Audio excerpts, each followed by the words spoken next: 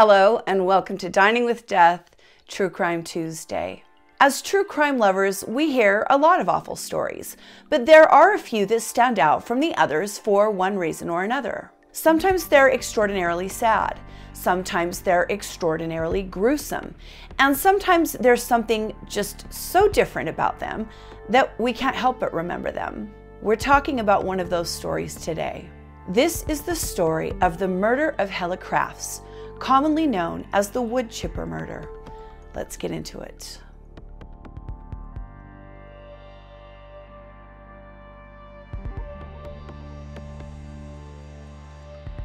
Helle Crafts was born in 1947 and by the mid 1970s was working as a Danish flight attendant for Pan Am Airlines. Her husband, Richard Crafts, was a pilot for Eastern Airlines. That is how the couple met at work. Richard was making $120,000 a year as a pilot.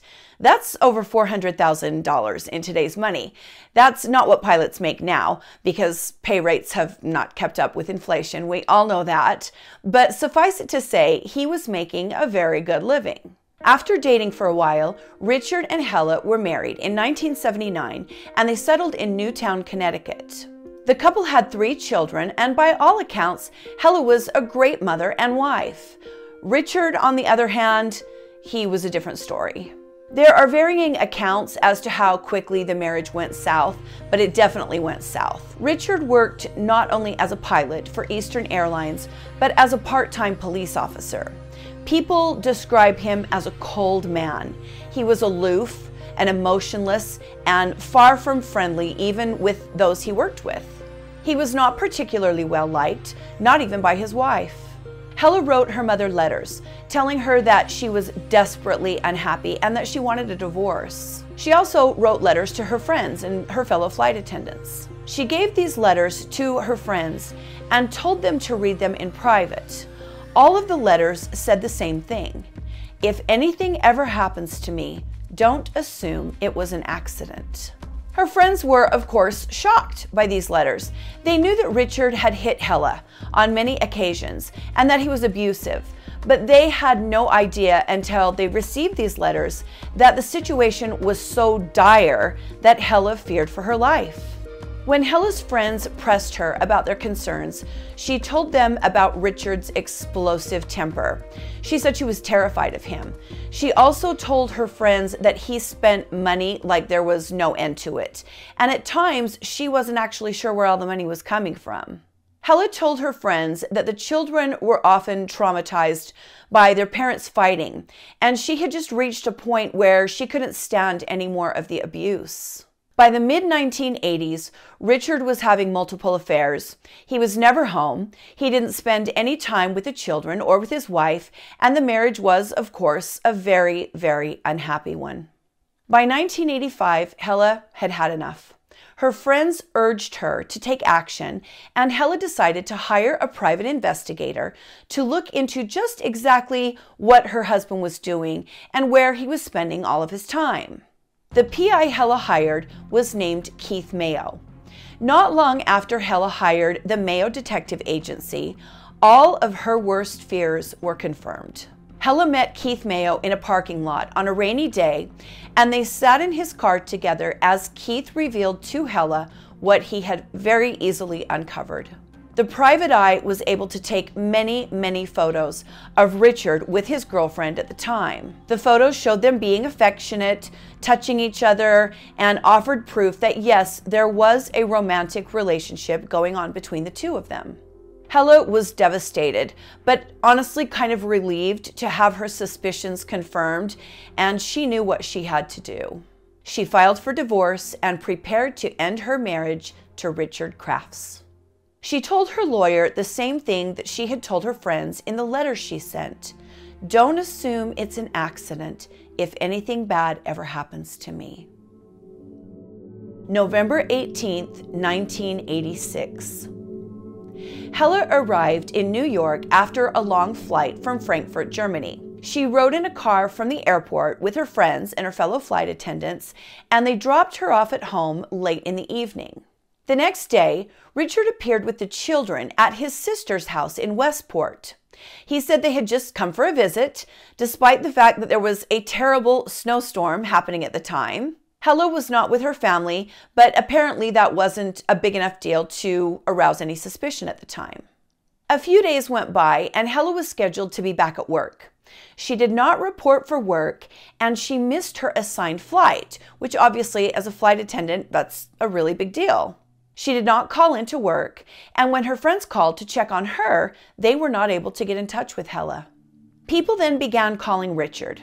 He told the first callers that Helle had left the country to visit her mother in Denmark. He later told other concerned callers a completely different story.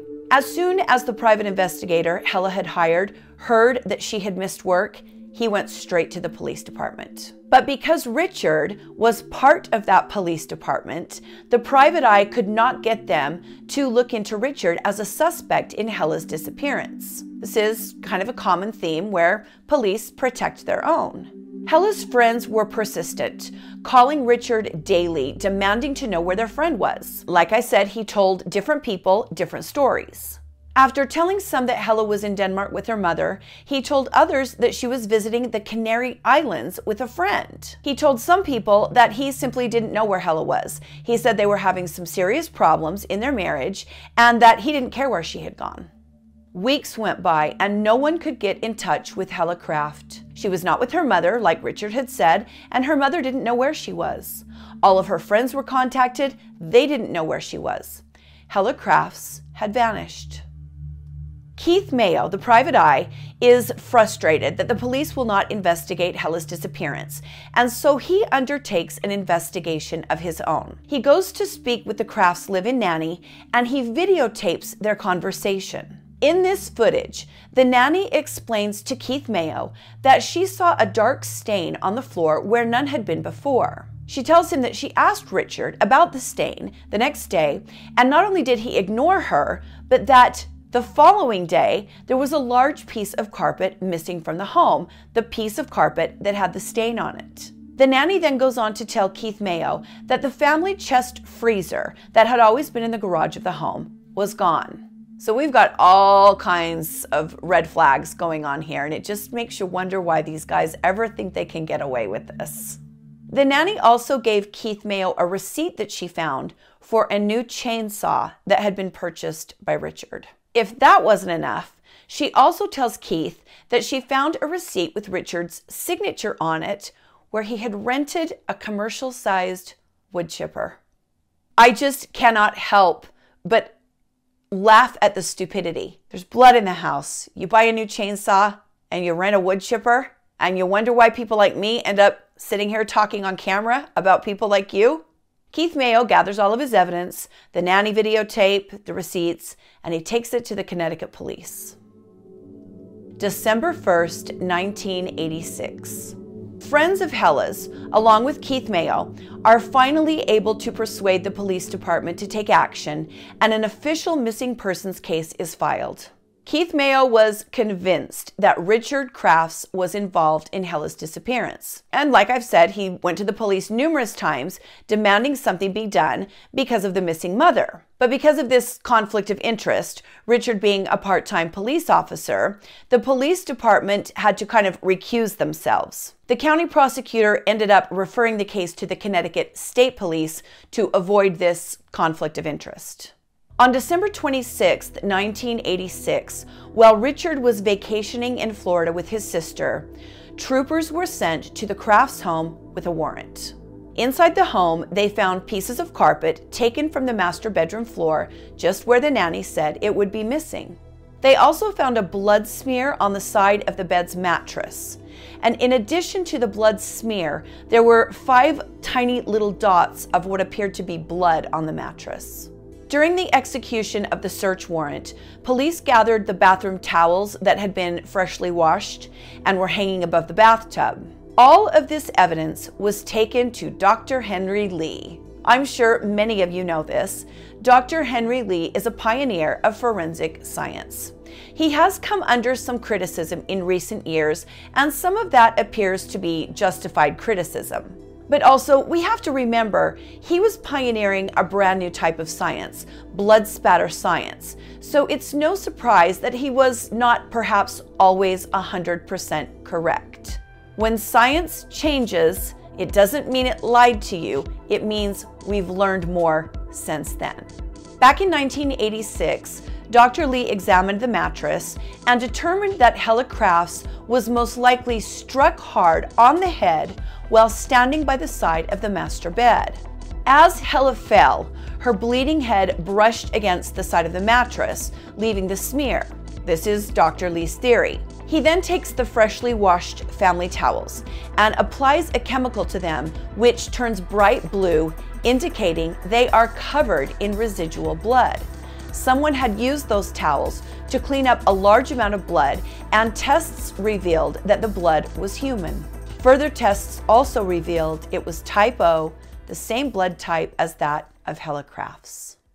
Missing from the house was not only the chest freezer, as I mentioned earlier, but the main bedroom sheets and comforter. Richard Crafts is pulled in by the state police as soon as he returns from Florida and is forced to sit for a polygraph. Now, we talk on this channel all the time about how polygraphs are unreliable, but the polygrapher in this case said that Richard Crafts showed absolutely no emotion during his test and there were no indications that he was lying when he asked if he killed his wife.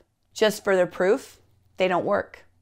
By this time, word of the missing local mother had spread throughout the area, and it reaches a man who has some information. Joseph Hines comes forward.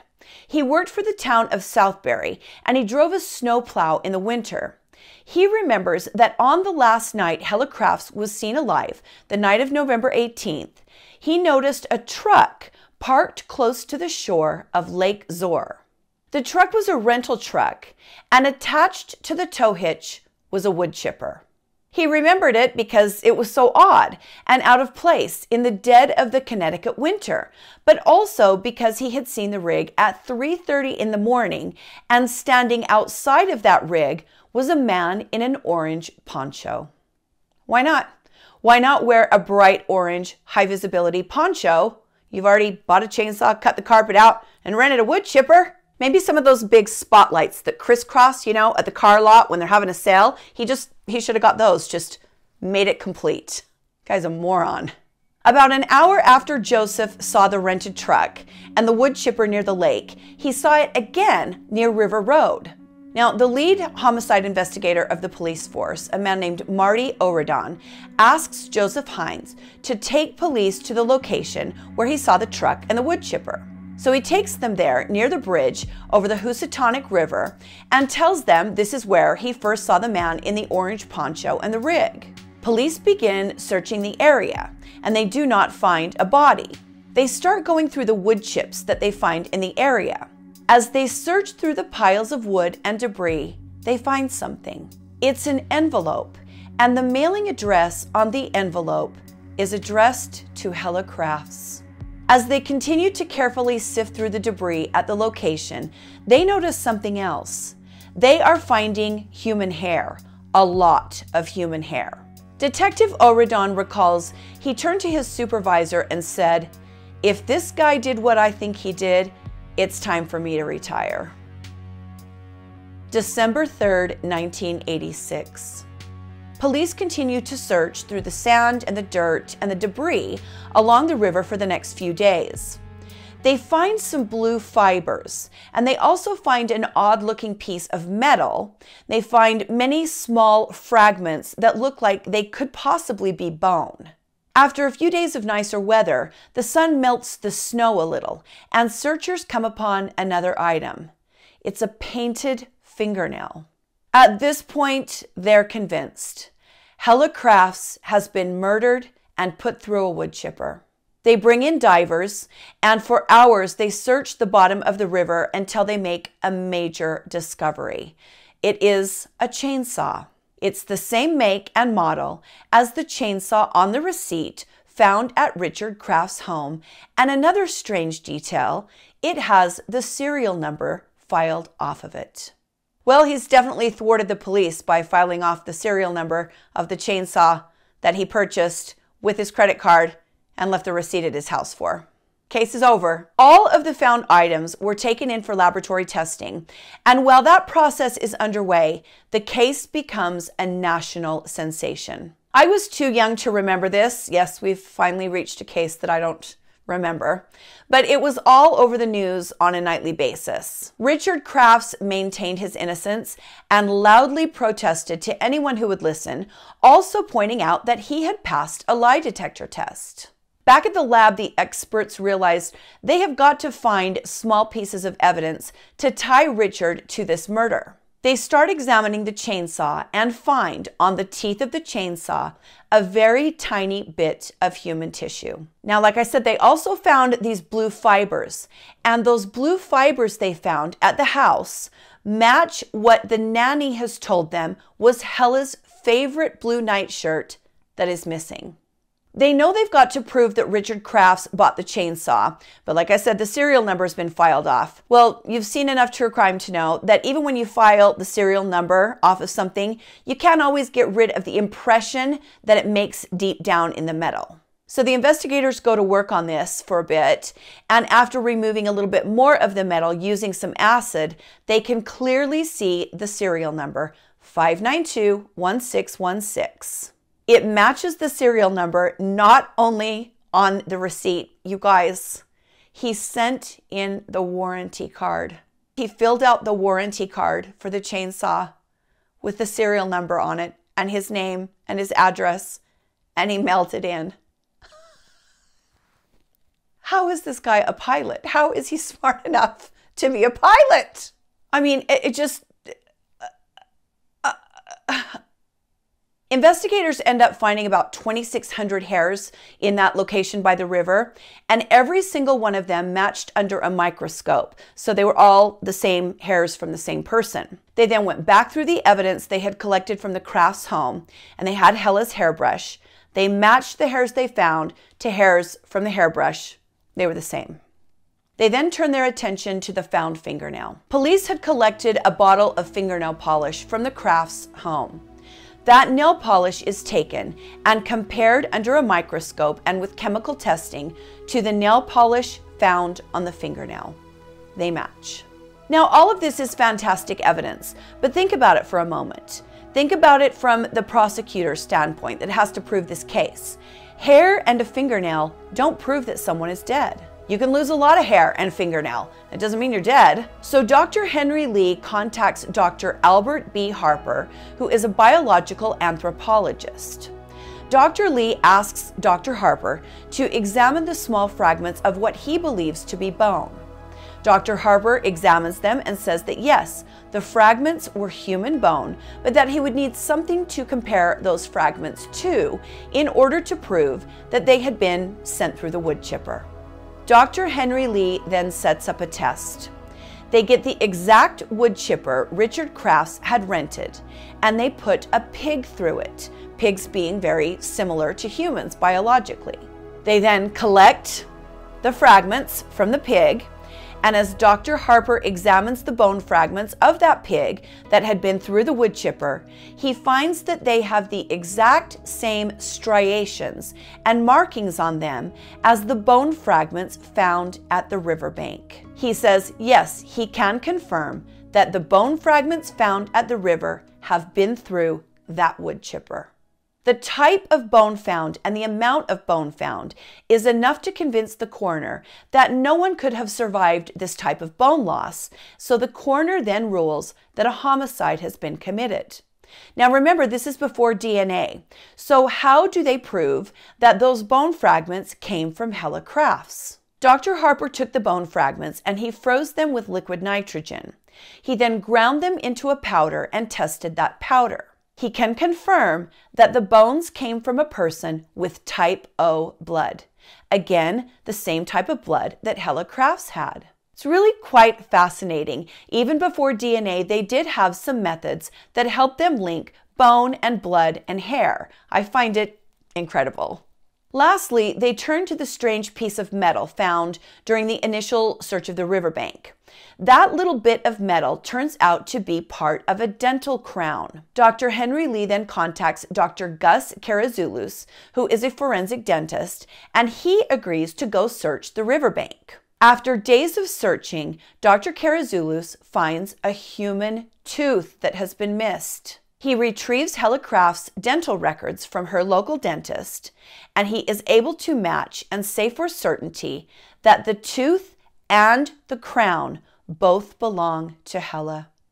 At this point, there is no doubt Helle Crafts is dead. January 1987. The Office of the Connecticut State Medical Examiner issues a death certificate, and Richard Crafts is immediately arrested. He is placed in custody and ordered to stand trial. The trial began in May of 1988 in New London. Prosecutors laid out what they believe happened. They believe there was an argument between Helle and Richard in the bedroom. Richard picked up a large police flashlight and hit Helle over the head. She fell next to the bed with her wound brushing the mattress on the way down. They believe Richard then placed Helle in the family freezer, rented the truck and the wood chipper, and loaded Helle inside the freezer into the back of the rented truck. He then drove to the lake where he dismembered her with a chainsaw and put her body parts through the wood chipper. During the trial, the Crafts housekeeper and nanny, Dawn Marie Thomas, testified about the stains she saw, the missing carpet, and the missing freezer. She also told the courtroom that on the day of Helle's disappearance, Richard had allowed her to go home early. Helle's mother also testified, and during her testimony, the letter in which Helle said she was going to divorce Richard was presented as evidence. A Southbury policeman named Richard Wildman also testified, stating that on the 21st of November, he saw Richard as a colleague with that wood chipper and asked, What the hell are you going to do with that? He said Richard replied, saying he had some limbs around his house. Oh, tree limbs. Oh, that was not great writing on my part. He had some tree limbs that had come down during a snowstorm, fallen onto his property and he was going to clean his yard up, use the wood chipper to put the tree limbs through. Oh, Lord, Stacy. Richard Crafts took the stand in his own defense. He sat in the witness chair at age 50, dressed in a blue shirt and a striped tie, and he testified. When he was asked if he used a chainsaw or a wood chipper to kill his wife, he calmly replied, No, sir, I did not. Richard's defense strongly objected to the admission of items seized during the search warrant, including the carpet samples, a second comforter, and a pair of men's shoes. The attorney stated that the proper channels had not been followed to obtain the search warrant, and so that all the items should be thrown out of court.